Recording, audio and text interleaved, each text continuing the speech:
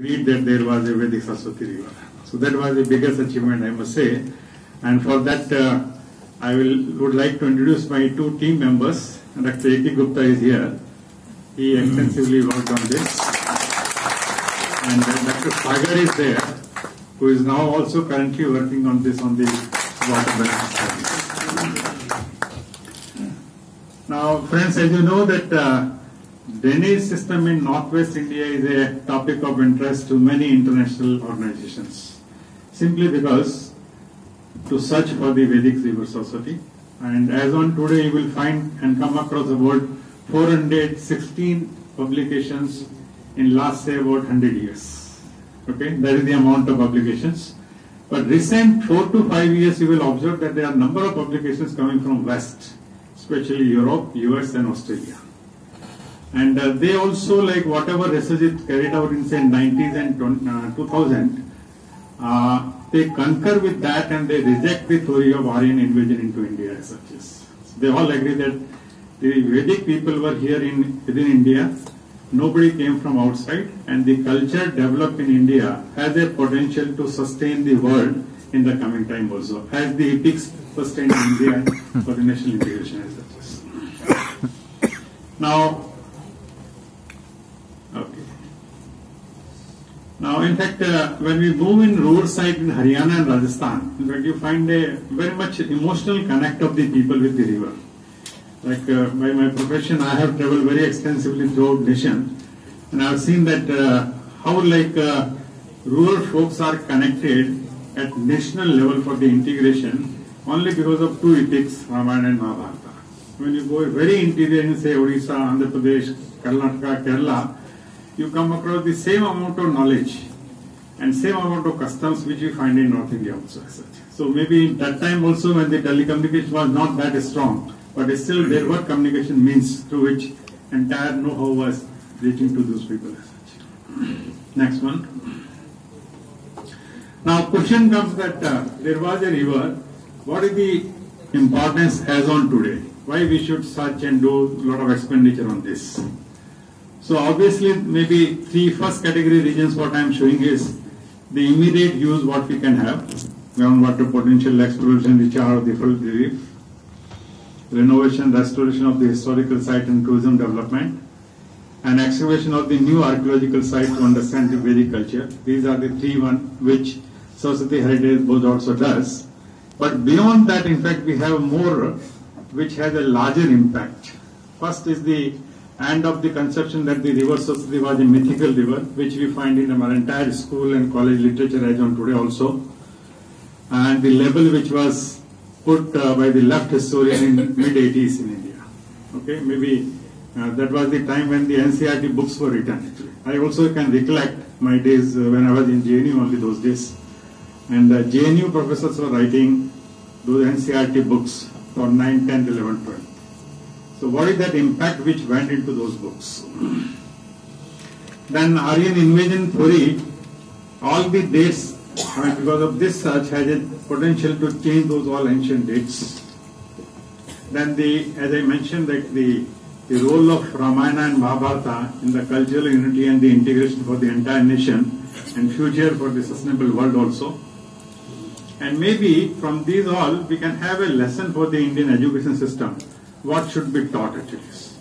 Because as on today, no university formally teaches Ramayana, Mahabharata or any Vedic culture in India. But, next slide please. Last year, like the Pioneer University, Harvard started a course in Mahabharata and Ramayana. So this is to be noted actually. And uh, who teaches, what is the content, etc. is online available. But I really felt very happy that yes, people have gone forward Uh, rather than our own nation where it developed. We don't have that much of uh, know-how on this. Next one. Now, beyond that also, if you see, if you go for the search, what is done by Archaeological Survey of India so far in Lothal, that's 62 kilometers from Ahmedabad, 5,000 years back also, there were toilets in each house with drain, outside drain. 5,000 years back also. What we see today in Swachh Bharat is not a new concept. In fact, the, the culture was so old and rich that time also. So that is to be revived actually. these are two aspects only I've covered. There are hundreds of aspects of agriculture which has a potential to reintroduce or rethink in different or to even have educated ourselves that yes, the culture was so rich that time. Next one. So finally, I'll say the besides the immediate gain of water, tourism, or archaeological sites, it has a much more new hope and the icon for the resurgent India. such. If we can accumulate everything in a proper sense, and also formally in government records, it will have a big and long journey for the entire nation and the future generation as such. Next one. Now, basically, what we are talking is, you see, as on today, there is a this light uh, greenish color. What you see is the Indus River system, and this blue color, what you see is a Ganges River system. But in between this area, there is only a seasonal drain called Ghaggar River. But what we are talking is that there existed a equally mighty river, mightier than even Ganges those days. That's what the mention is there in Vedas. So it was bigger in terms of water volume and width also than Ganga 5000 years back. Next one. Now same you can see in a three-dimensional satellite view. Its uh, x, y and z are proportionate. So what we see is that uh, this is the entire Indo-Gangetic plain and practically every 45 kilometers there is one river which drains from the Shivalik hills and uh, comes out the plain, goes to finally the ocean. But there is a sizable area here where you find very small rivulet as on today. So maybe this is one clue initially that yes, why this area doesn't have that big rivulet. Okay. Next one. And uh, this is the dynamic surface as we all know. The entire this uh, plate movement is happening and the Himalaya is rising at the rate of say 0.6 centimeter every year. So it's a highly dynamic area. Next one. Besides this, uh, mapped uh, last 100 years earthquake in that area, which are more than 5 magnitude, and you find the density of that much. Why I am showing is that I just want to correlate in such a dynamic area, river transformation is a regular process. It happens in a geological history term very regularly, and in this case also it has happened many times, which is revealed these, on, these days. Next one. Now, besides uh, the earthquake sites, GSI also mapped the fault fractures and the thrust areas in this zone. And this is again a highly sensitive area, what we are talking about the origin of rivers of Satya Next one. Now, this is one raw image of 72, okay, mosaic from uh, various uh, 140 by 140 kilometer scenes as such. And you find these are the Indus systems and these are the Ganges and the Yamuna system. But you find one river as a moist zone, maybe with little processing also it is depicted and somebody can correlate that there is a big channel available here. Yes. Okay. And uh, another beauty is that the hills what I talked, what you saw in three dimensional, these hills are twisted here because of the tectonics and the geological pressure. lot of movement takes place. Maybe even somebody can rearrange them also to make a straight line. So that shows that yes, today we find number of tear faults. There were other dimension of tear faults initially. Yes. Next one. Uh, this slide is in the detail actually. like uh, this Yamuna tear fault exactly fit if you twist slightly say north side. Similarly on the Satluj side also you find this one same one. And Ghaggar river also there is a twist. So these all topography show that yes there is a great movement in this area happening geologically. Okay. Next one. Now another characteristic of this area is the sand and dust storms. And we see every year like 5 to 8 uh, dust storms at the height of 6 to 8 kilometers. And these dust storms have capability to lift uh, 870 tons of sand in 1 kilometer diameter dust storm. Uh, generally our dust storms are about 500 kilometers in diameter. So every dust storm has got 90 million tons of sand. And what I am talking about 5000 years back. So you can assume the amount of sand accumulated in the entire northern plain as such. Why I am saying is, what we are trying to trace is through such means, such tools, which still has a penetration to move further, go deep, and give the signatures for that. Next one. Now this sand not only is our internal sand, it also comes from the Saudi Arabia and uh, African continent. What you saw in earlier image, on the ocean also there is a big sand movement also. Next one. Yeah, this is also like it is moving in the entire northern India as such. Next. And comparatively, if we see entire nation, this is the most intensively cultivated area, where land, land transformation has taken place in a big way. Practically all land leveling have been done. And river Saraswati also, when we visit in field, uh, it looks like a river, not a river, it's a nala kind of thing. And maybe encroached to the last water drop. So the condition has become like. Next one. So in spite of these constraints, uh, the when we harness the satellite remote sensing data, uh, basically available to us in two forms, passive sensors and the active sensors. Uh, passive sensors uh, basically is the main horse for the satellite data applications. And in that also we have uh, the visible radiometers, infrared radiometers and the microwave radiometers, which work on the property of solar radiation and the thermal emission as such. So our most of data, about 70% we have used as the passive sensors. But then we had access to the Canadian radar data, which is available in the synthetic aperture radar form.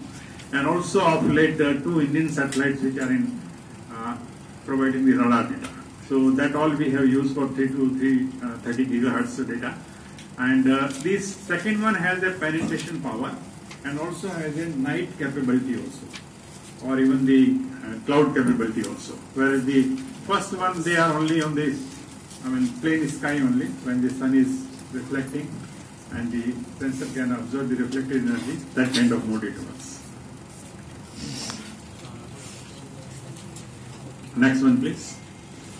Now, based on this, basically we, we got introduced into this uh, topic in 96 when a very senior citizens group approached me. I was heading the center as general manager those days. And uh, these people were like uh, already all 75 and plus.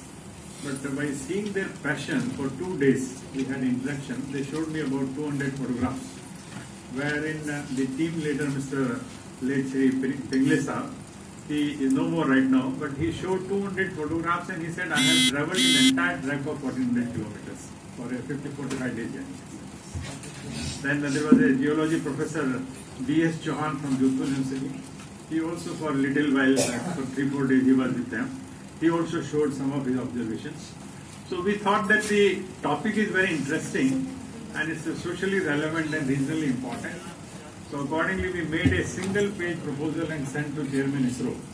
And luckily, maybe the, the good thing happens. So by evening, we got the approval also. And with the 10 lakh rupees uh, mark, which I marked those days, and uh, we started the work as such. Now, basic idea was before us also there were many players in this. So what we did, uh, we took a, a different approach. We organized three workshops and invited practically all the agencies in India who have worked on the reverse whether individual or any organization. Finally, to narrow down, where is the map available on which you can locate on ground? That was our main purpose. And number two, has anybody established in the field also by drilling or aging the water or the sediments? So that kind of approach we had. So what we did, we made a compiled report of all the presentations and did a gap analysis. And finally we found that uh, as on today there is no map where you can locate through GPS coordinate and go somewhere. All are on say A4 sheet or A3 sheets only. People have drawn two lines, three lines, something like that. So we started uh, working in that direction and uh, we ourselves processed maybe nearly thousand uh, scenes of satellite data of different dates, different seasons and different resolutions to arrive at a course on this. Next one. And this is our methodology basically. Uh, first one is the satellite data of various resolutions and various sensors.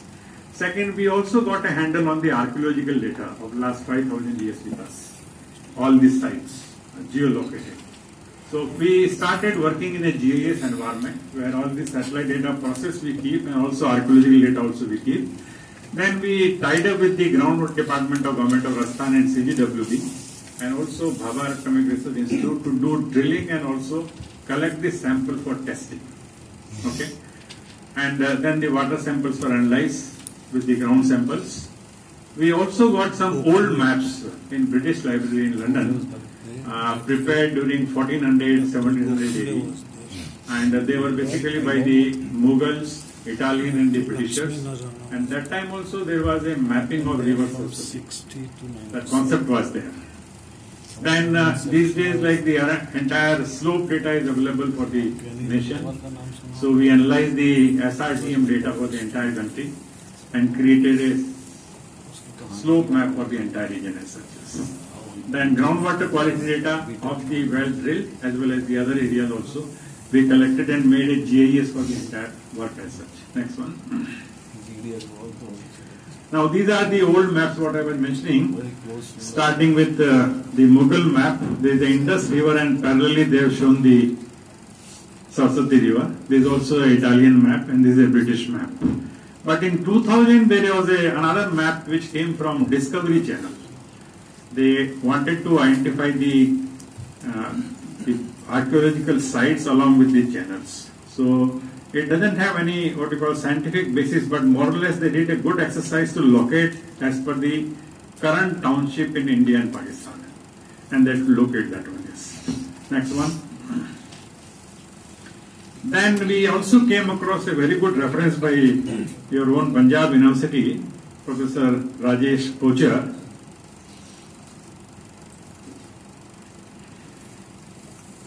Who believes that uh, there were Vedic people and there was also a river Saraswati, but not in India. It was in Pakistan. Sorry, Afghanistan. It was in Afghanistan and the Vedic people also got developed in Afghanistan. Argument wise it's good, good English, etc. But the level of argument is not that scientific. Like one example I'll quote. He said when Vishwamitra, the famous saint, he crossed the river from west to east, how he knew that the river meets finally to ocean. So I was thinking this kind of argument, see any villager today also while crossing a river, he may be knowing this river at one end will be meeting some big river or some ocean. So what I mean to say is the argument level is not that high actually. He has tried to somehow establish Helmand River of Afghanistan with some of the spots in the physiography, but maybe lacking the uh, topographical details and the kind of thing, what we refer in say Vedas and other texts. But uh, we took a good study of this to see that uh, suppose the opposition gives a good argument, it's better to have before we analyze our own things as such. So that that perspective we took it. Next one.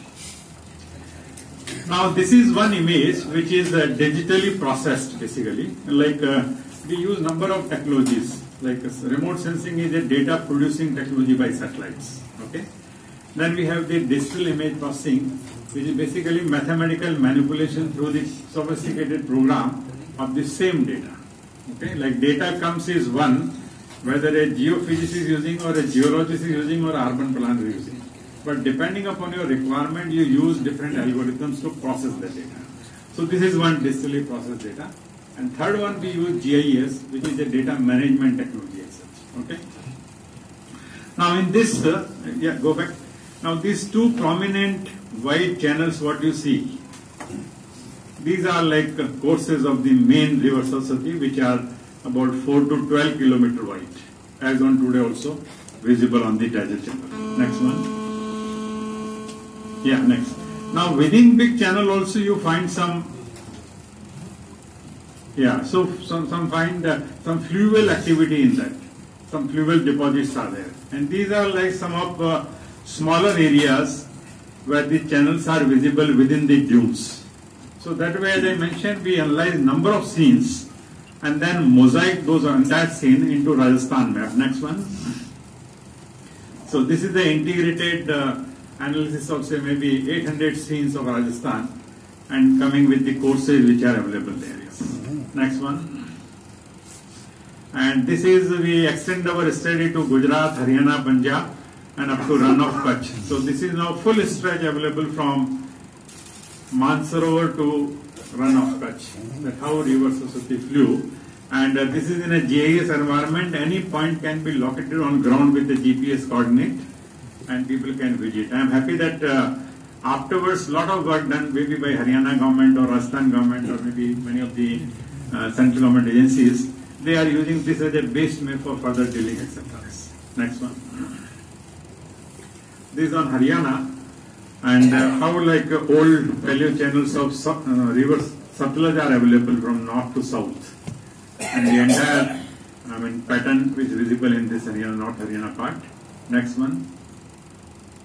And these are simplified maps for the public domain. Like whatever is mapped, uh, they are marked up to different orders. And next one. While uh, executing the project on water resources of India, we also came out with a uh, river basin atlas and watershed atlas of the entire country. So what we did is today Saraswati and the adjoining rivers, what is the amount of catchment area and in today's condition how much water they generate to see that what is the efficacy of this being a perennial river in the current conditions. So that way this study was conducted. Next one. These are on a digital elevation model to see that uh, if this slope as on today also favors in, in spite of such a transformation. So of the paleo channel just to view that one. Next one. And uh, this is in the entire Himalayan region from where the Yamuna, Satluj and the Ganges originate and how the terrain looks from there and how it comes into the plain area. Next one. And this is the part of Gujarat and finally when it meets the Rann of Kutch. Next. And this is the Punjab part from Satluj, how it takes from north to south, which is right now it is in a U-turn form and moving towards the western side as well. Next one. And this integrated map is also put on a composite terrain map of India uh, with an elevation of say 40 to 50 feet height to see that how it matches in as on today topography. Next one.